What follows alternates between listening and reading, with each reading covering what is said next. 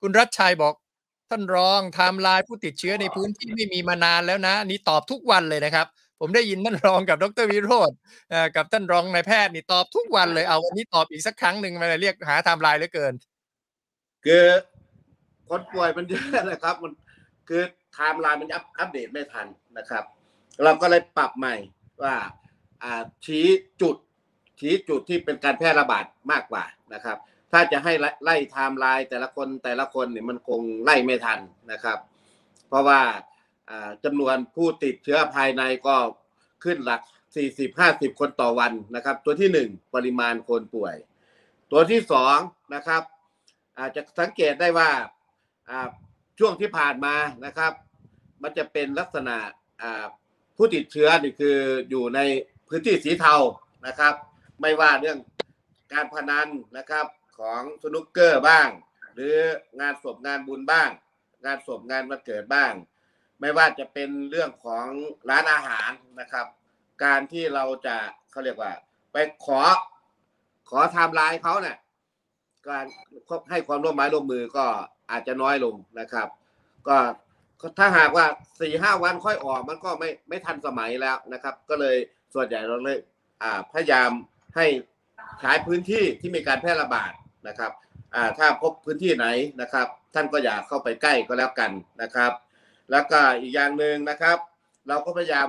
นำเรียนแล้วว่าช่วงนี้มันมีการแพร่ระบาดเป็นวงกว้างนะครับก็สิ่งที่เราจะทำได้นะครับ คือการป้องกันส่วนบุคคลคือการป้องกันแบบครอบจักรวาลนะครับ ที่บอกว่า universal prevention นะครับ ก็ถ้าหากเราถือตามนั้นนะครับ อย่างน้อยก็ DMHGT นะครับ ท่านก็ไม่ติดเชื้อแน่นอนครับ ครับผมผมเพิ่มเติมนะฮะในฐานะทีมหัวหน้าทีมสอบสวนและควบคุมโรคนะครับ จริง ๆ มันมีเหตุผลทางวิชาการกับเหตุผลของประชาชน เราต้องรับฟังกันคนละครึ่งนะฮะจริง ๆ แล้วเหตุผลในการสอบสวนโรคนะฮะคือต้องการทราบไทม์ไลน์ว่าผู้ป่วยรายนี้นะฮะไปมีกิจกรรมที่ใดบ้าง และ กิจกรรมนั้นสุ่มเสี่ยงที่จะเกิดคลัสเตอร์ หรือติดคนอื่นหรือเปล่านะครับ อันนี้คือจุดประสงค์หลักเลย เมื่อเรารับทราบนะครับเบื้องต้นว่ากลุ่มนี้ไปคนนี้ไปสัมผัสกับกลุ่มนี้ เราก็จะโทรศัพท์ไปทันทีนะฮะหรือตามหาทันทีนะครับ คนที่ได้รับโทรศัพท์นั่นคือ high risk หรือผู้ที่สัมผัสเสี่ยงเสี่ยงสูง เราจะโทรไปทันทีฮะคนที่ไม่ได้รับสายแปลว่าท่านเสี่ยงต่ำเราก็จะตามตามไทม์ไลน์นั้นทั้งหมดเลย นะฮะอันนี้คือคือประโยชน์ในการสอบสวนเพื่อควบคุมโรค อันนี้อย่างแท้จริงเลย ทีนี้อันต่อมาเนี่ย เราเปิดเผยไทม์ไลน์แต่ก่อนเนี่ย ความหมายก็คือว่าเราต้องการป้องปรามหรือว่าให้คนที่ได้อยู่ร่วมในเส้นทางนั้นได้ระมัดระวังตัว หรือกักตัวถ้ามีอาการ เราจะให้มาตรวจ หรือว่าให้เจ้าหน้าที่ไปรับมาตรวจนะครับ เช่น นั่งรถโดยสารสาธารณะหมายเลขนี้ วันที่เท่านี้เวลาเท่านี้ ถ้าอยู่ในนั้นทั้งคืนนะท่านคือเสี่ยงหมด เราก็มีเบอร์โทรศัพท์อะไรเรียบร้อย นั่งเครื่องบินเครื่องนี้นะฮะแถวหน้าแถวข้าง แถวหลังสามแถว ถือว่าเป็นไฮลิสนะฮะเราก็จะตาม อันนี้คือคือเหตุผลที่เราใช้ในการสอบสวนเพื่อควบคุมโรคนะครับ จริงๆเขาก็ไม่ได้เปิดเผยนะฮะเพราะว่าสิ่งที่เกิดขึ้นทีนี้พอเปิดเผย ก็เป็นความเคยชินของประชาชนที่อยากทราบทราบเสร็จแล้วเนี่ย ส่วนหนึ่งต้องยอมรับว่าเกิดการบูลลี่เกิดการตีตรา เกิดการไม่ไปใช้บริการ เกิดการกันแกล้งกัน ว่าตรงนี้ก็ใช่ ตรงนี้ก็ใช่นะครับ และอีกอย่างหนึ่งเนี่ยผู้ป่วยนะฮะผู้ป่วยเขาจาได้ไม่แม่นนะ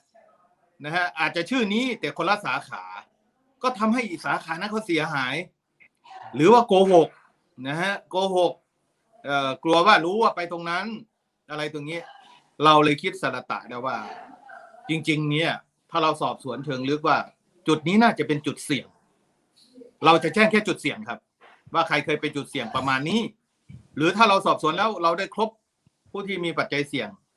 เราก็จะไม่แจ้งนะครับ เพราะว่าจะทำให้ตื่นตระหนกแล้วก็ธุรกิจหรือว่าความแพนิคของประชาชนเกิดขึ้นแล้วเราลองมาทั้งหมดนะฮะก็หลังๆเนี่ยเราคิดว่าเราควบคุมได้ แล้วก็แจ้งแค่จุดเสี่ยงเท่านั้น